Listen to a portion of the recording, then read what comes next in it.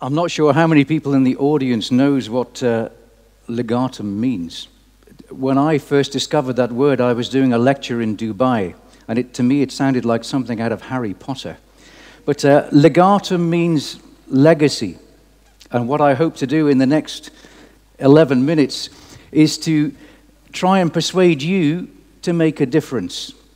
Um, I just want to show you my office because I've been here in uh, near this town for six days in a lovely place called Sovata in six days of solid meetings. So it's lovely to come here.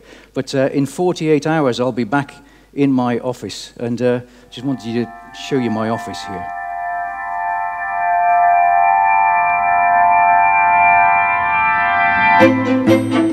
Located among the great dunes of the Sharqiya Sands, the spectacular new outward bound desert centre provides an ideal base for expeditions and study in a challenging environment. Purpose built on a carefully selected 5,000 square metre site, the centre has been designed to blend in with the landscape with the nearest power supply 2 kilometres away and the nearest blacktop road 12 kilometres away, it is Oman's first building designed to be powered by renewable energy. All water, which has to be brought in by tanker, is treated and reused on site. And at that point, I'm going to pause because last night it rained, and that's the first rain I've heard for eight months. It doesn't rain very much in Oman where I live, so it was all very exciting. But uh, when I spoke to people about this TED talk here in Romania, they said, What's the theme? I said, Future Unchained. And I said, What does that mean to you? And they said, Well, future, you're talking about young people.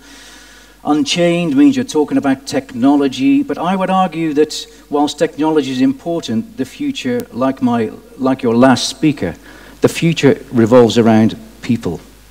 My job is training young people in Oman for jobs that do not yet exist. The fourth industrial revolution, artificial intelligence. What skills do you need to be a successful citizen in the future? But do you know the best thing about my office in the desert is that there is no mobile phone reception. And it is fantastic.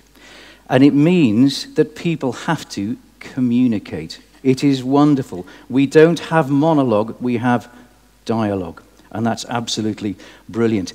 I think if you're looking to the future, like you're driving a car, sometimes when you're driving a car, it's good to look what's behind you in the rear view mirror. And I'm a great believer in learning lessons from history.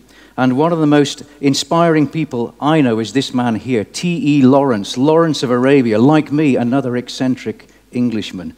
But he did some extraordinary things, and his book, The Seven Pillars of Wisdom, very quickly became the book that US soldiers were reading in the invasion of Iraq because they realized the war would not be won with technology. The war would be won by understanding people because the people in the Arab world, the culture is totally different. It's family first, tribe second, individual last and people from the West did not understand that. So things from the past can really influence what we do today. It certainly influenced something that I did. This, I believe, is the oldest university in Romania. And if Wikipedia is right, which of course it always is, um, this was founded in 1860. That makes it about 150 years old. Sadly, the university where I go to is much older than 150 years old. This is the oldest university on earth. It's the university of the desert, and disputes have been resolved here for thousands of years. My legacy I'm just a regular teacher, as you can probably work out, no hair, no money. A lot of that, that's the result of many years in the teaching profession. But we can all make a difference. You can probably see the connection between that and this. This is what I wanted to do to make a difference. Get young people from different cultures sitting around a fire in a place where there are no distractions, no mobile phone. Uh, I'm Kate, I'm from England, and I'm not a football hooligan. My name is Khaled, and I'm from Saudi Arabia, and I'm not rich. My name is Zahla. My name is Ashima. We are from Oman. And we don't ride camel to go to work. My name is Cody. I'm from the United States I'm not a Christian. I'm Mikołaj, I'm from Poland, and I'm not anti-immigration. My name is Tisneem. I'm from Algeria and I'm not a terrorist.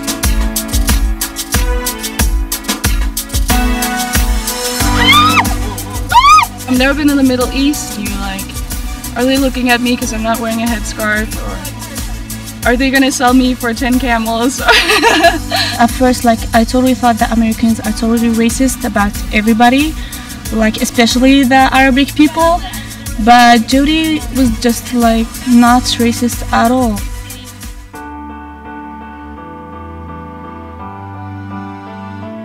the media has the power to make the, the truth they want. Media is a tool, it's not to blame. We are I'm going to keep moving on because we're pressed, pressed for time. But that's my contribution. That was my idea 10 years ago due to a letter that I saw in the newspaper. Um, but there are many, many more important and powerful people than me that have great legacies. I'm just going to show you a few examples. Um, let me just whiz back. We've missed a slide there, I think. Maybe not. Um, 1930s, one man thought that things were going wrong with society. He felt that young people were losing their fitness. This is, this is almost 100 years ago. There was a lack of respect.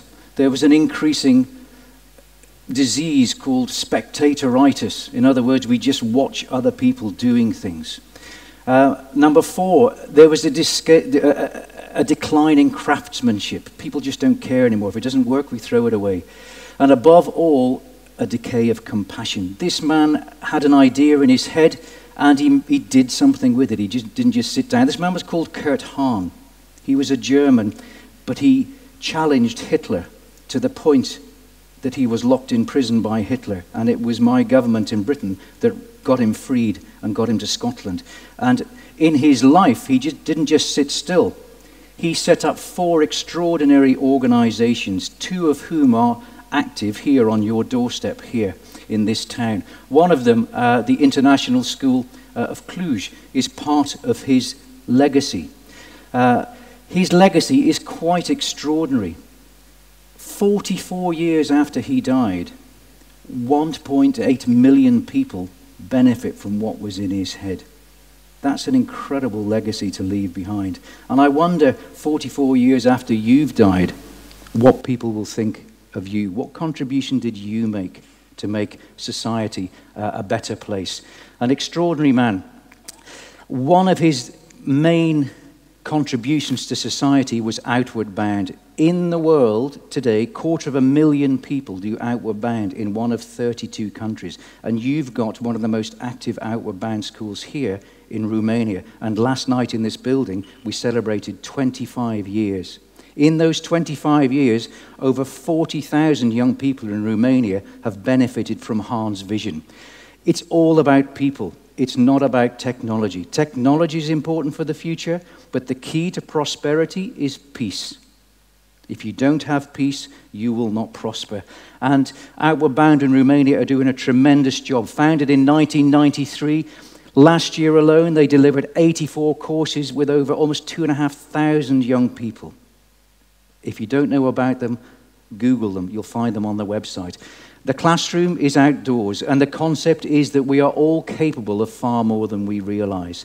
And it's uh, journey based, starting you on your life journey. So, a future unchained really needs leaders, and that's where Outward Bound Romania comes in. Prosperity comes as a result of peace.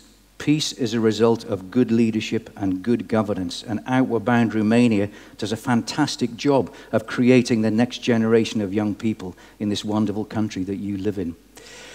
I'm going to go back now in my last couple of minutes even further in history. This man was such a radical thinker. And you know you've left a good legacy when they build three statues of you. Not that you'd ever know because you'd be dead. But of course, this man this man was an Irish politician and uh, an extraordinary man, Edmund Burke, years ahead of his fellow politicians. A statue of him in Dublin, a statue of him in Washington, D.C. Why? because he said things that challenged people's thinking. An extraordinary fellow. And your final challenge now, there are three people in the room who've been to my desert as ambassadors of Romania, so they are not allowed to try this exercise. But my challenge to you before we run out of time is to make sense of those words and to make them into a statement. So you can talk to the person next to you if you want. You've got 10 seconds to try and make sense of those words. Can anyone do it? Put your hand up if you think you can do it.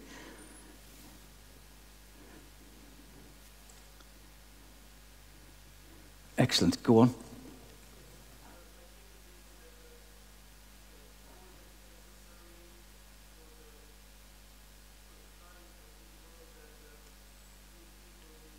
Fantastic. Well done. Um, see the team from Outward Bound Romania here, and they'll give you a special prize later on. Um, but yeah, absolutely right. If you take those words and you put them into sequence, that is what you get. All that is necessary for the triumph of evil is for good people to do nothing. And you are all good people. And the greatest challenge to a future unchained is if you just sit there having your latte with a nice full stomach, checking your iPhone, and do nothing. That is the greatest challenge that lays ahead. Thank you very much.